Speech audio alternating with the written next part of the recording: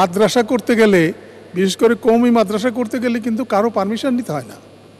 আপনি আজকে মনে করলেন যে আজকে একটা কৌমি মাদ্রাসা খুলবেন বা সেখানেই কৌমি মাদ্রাসা হয়ে গেল। আর একটা স্কুল প্রাইমারি স্কুল বা অন্য কোনো শিক্ষা প্রতিষ্ঠান যদি আপনি খুলতে যান পারমিশনের পরে পারমিশন লেগেই থাকে। আর তাছাড়া এই অমিক্রণের এটা যে যত বড় উদাহরণ আমাদের হয়েছে, সেই উদাহরণগুলো আমাদেরকে কিন্তু কগনিজেন্সে নিতে হবে। কারণ একটা মাদ্রাসায় আপনার কি হয়? আপনি শুনে আশ্চর্য হবেন সাড়ে চারটার সময় এই ক্লাসের ওয়ান ক্লাস টু যে যারা পড়ে সাড়ে চারটার সময় তাদের ঘুম থেকে উঠে। তারপরে সাড়ে চারটার থেকে আরম্ভ করে আপনার সকাল নয়টা পর্যন্ত তারা পড়াশোনা করে। কি পড়াশোনা করে আমি জানি না।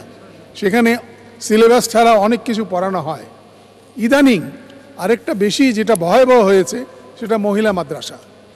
আপনি কল্পনা করতে পারবেন না এই মহিলা মাদ্রাসাগুলো আমার এলাকায় আমি বলতে পারি এত বিস্তৃত হয়েছে যে সব জায়গাতেই আমি সকালবেলা উঠে দেখি যে চেনা যায় না এদেরকে।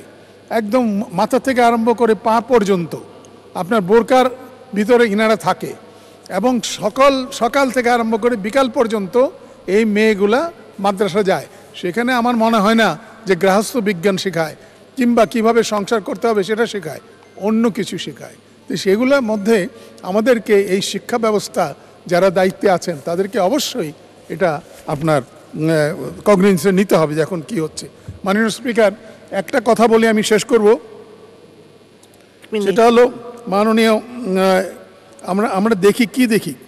দেখেন এই যে যে শিক্ষা ব্যবস্থাগুলো প্রাইমারিতে আছে সেটা ক্লাস থ্রিতে কি করেছে ক্লাস টুতে কি করেছে?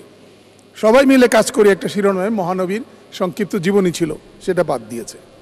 থ্রিতে খলিফা হজরত আবু বকর শিরোনামে একটা সংক্ষিপ্ত জীবনী সেটা বাদ দিয়েছে। ক্লাস ফোরে খলিফা হজরত ওমর জীবনী, সংক্ষিপ্ত জীবনী সেটা বাদ দিয়েছে। পাঁচে ফিফথে আপনার বিদায় হজ শেষ না, নবীর জীবনী একটা ছিল, সেটা বাদ দিয়েছে।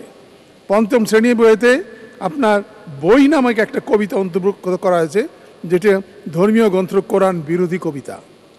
আর ষষ্ঠ শ্রেণীতে লাল গরু নামক একটি ছোট গল্প আনা হয়েছে, যা মুসলিম শিক্ষার্থীদের শেখানো হচ্ছে, গরু হচ্ছে মায়ের মতো তাই গরু জবাই করা ঠিক নয় অর্থাৎ হিন্দুত্ববাদ।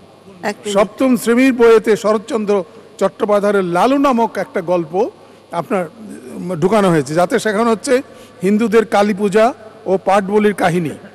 অষ্টম শ্রেণির বইয়েতে হিন্দুদের ধর্মগ্রন্থ রামায়ণের সংক্ষিপ্ত রূপ অন্তর্ভুক্ত হয়েছে। এগুলো কিসের আলামত মাননীয় স্পিকার? আমরা চাই না আমাদের এখানে আমরা সবাই একসঙ্গে থাকতে চাই। কিন্তু একটা ধর্মের গ্রন্থকে আপনি বাদ দিয়ে আরেকটা ধর্মের প্রাণিঘাত প্রাধিকার দিয়ে সেখানে বিশেষ করে one two three four six seven eight nine পর্যন্ত আপনি সংস্কৃতি বদলের চেষ্টা করবেন, সেটা কিন্তু শিক্ষা মন্ত্রণালয় অবশ্যই দেখতে হবে। ধন্যবাদ ম্যাডাম স্পিকার